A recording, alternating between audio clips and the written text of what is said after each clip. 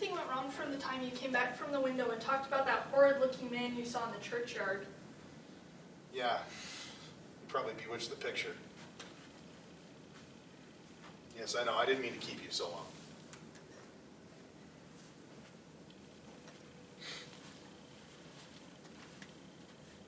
Is that the man you don't like? Mm-hmm. I can't see his face, but it does look fat and soft. Some way or another. He reminds me of a dream. An awful dream I once had. Or was it a dream? How should I know? You were in it, so perhaps you might know something about it. Tessie. Tessie, don't you dare flatter me by saying you dream about me. But I did. Shall I tell you about it? Don't. One night last winter, I was lying in bed. I had been posing for you, and I was tired, yet it seemed impossible for me to sleep. I heard the bells in the city ring 10, 11, and midnight. I must have fallen asleep about midnight because I don't remember hearing bells after that. It seemed to me that I had barely closed my eyes when I wandered to the window. I leaned out, and 25th Street was deserted as far as I could see. Everything outside seemed so, so black and uncomfortable. Then I heard the sound of wheels in the distance, and I waited for it. Very slowly it approached, and finally I could make out a vehicle moving along the street. It came nearer and nearer, and when it passed beneath my window, I saw it was a hearse. Then, as I trembled with fear, the driver turned and looked straight at me.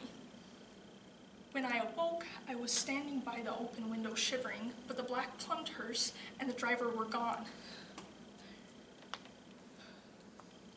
I dreamed this dream again last March, and again woke up beside the open window. Last night, the dream came again. You remember how it was raining? When I woke up, I was standing at the open window. My nightgown was soaked.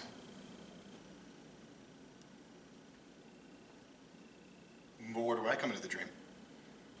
You were in the coffin, but you were not dead. In a coffin? How did you know? Could you see me? N- no, I only knew you were there. Were you eating Welsh rarebits or lobster salad?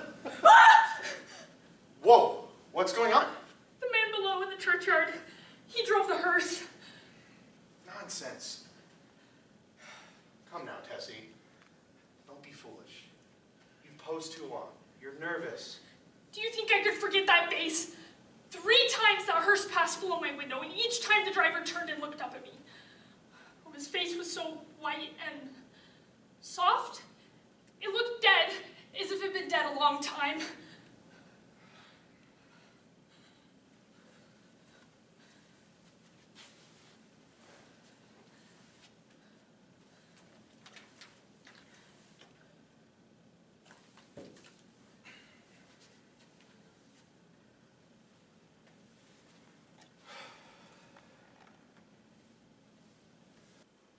Look here, Tessie.